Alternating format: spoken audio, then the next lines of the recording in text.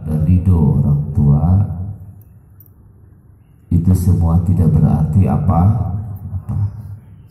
Karena kesuksesan yang sebenarnya buat anak adalah anak tersebut tidak pernah menyinggung, membuat hati orang tua tersakiti.